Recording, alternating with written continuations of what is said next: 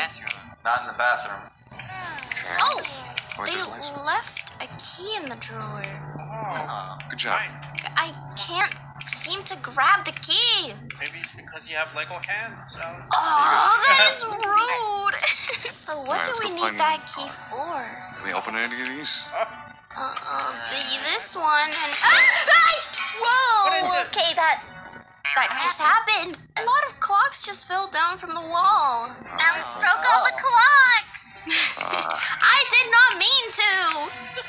That's nice bad luck, Alex. How are we gonna tell time? Oh, well, there's plenty of clocks out here. Who's down to go into the basement? Me! Oh, but there's uh, we need key two to open up the basement.